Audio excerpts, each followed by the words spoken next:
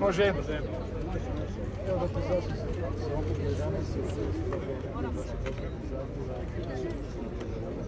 Gledajte, znate, kada neko hoće da grad sjera u čošak, prirodni instinkt da se branite, znate, kao u ringu neko vas sjera u čošak i udara vas, e to metaforički radi autoprevoz gradu Banja Luci.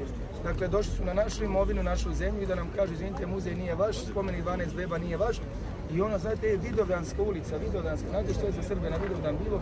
Kaže, ni to nije vaše, ni ovaj parking nije vaš, idemo sada uzmemo parking da vas založiramo, a imate prugu 12 milijuna na Vidovdansku i sve će to biti naše.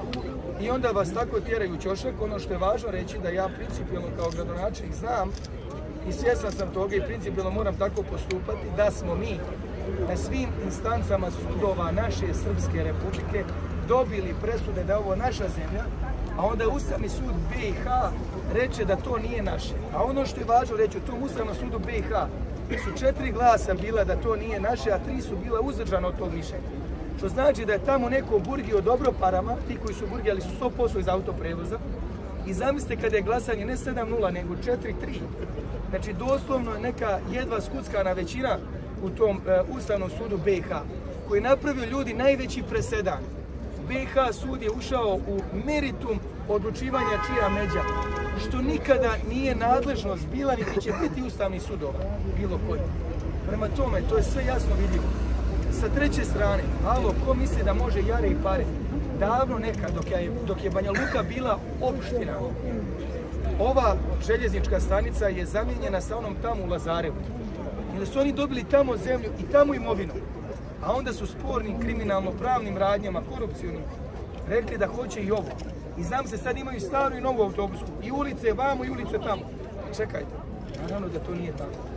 Imamo sve dokaze koji to potvrđuju. Danas nam se pojavili ljudi iz autoprevoza u tom vremenu koji tome svjedoče. Ugovor, zamisle, sasvim slučajno izgubljen. Policija ga ne može naći. Dakle, ovo je sve jedan uvezan pravno-kriminalni slučaj. I zato smo došli da branimo našu imovinu, da kažemo da smo svjesni da moramo oko ovog zemljišta ovdje razgovarati, ali samo pod jednim uslovom sam kao gradonačelnik spreman sjesti za pregovarački stol. Ako autoprevoz odustane od Vidovdanske ulice, povuče tužbu i bez naknade završimo priču o Vidovdanskoj muzeju i spomeniku 12 godina. Ako se to ne stvore, ti preduslovi, ovdje sam spreman biti, spreman kampovati, pozivati radnike i na kraju praviti masovne proteste u zaštiti gradske imovine. Odbranili smo Sokolski dom, Đoku bandita Ekvatora oduzeo nelegalno pare grada u iznosu od 2 miliona, smo isto stjerali u čašar, pokazali mu ko je najveći i glavni igrač. Isto znam da iz ovih iz autoprevoza nemaju hrabrost da se na taj način obračunavaju sa gradom. Danas